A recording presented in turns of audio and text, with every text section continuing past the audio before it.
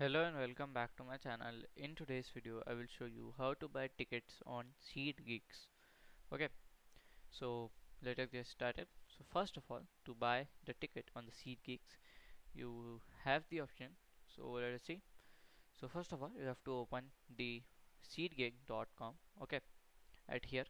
So you have to scroll down and then here you can see here it is your browser so here I can just browse the event. So let us take a comedy event okay?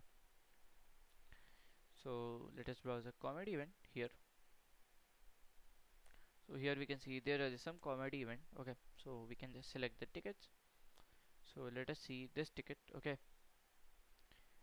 So to buy the ticket you have to select this okay? And then you have to create your ID also. And here is the stage and here are the tickets okay so here are the prices also. Here the listing. Okay uh, the front ones are expensive.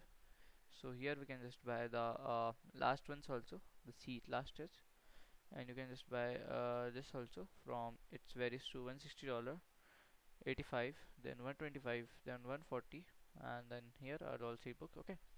So let us do if you want to buy this seat as club C okay so let's select like uh, 160 each. So we'll select this ticket so here we have three tickets empty. So let us book this ticket.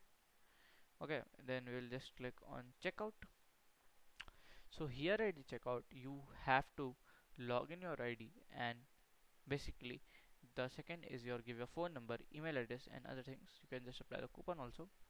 This is how we can just do like fees. It is about like a $200 okay? Then from here you have to just give your email id password. So it will just add on the ticket on your email ids and from there you will be able to enter into the ticket halls like halls and you will be able to attend. And after doing next you have to pay the money and that's it. So your ticket will be booked and your ticket will be sent to your place. So if you find this video helpful make sure you like subscribe and share the video. Thank you for watching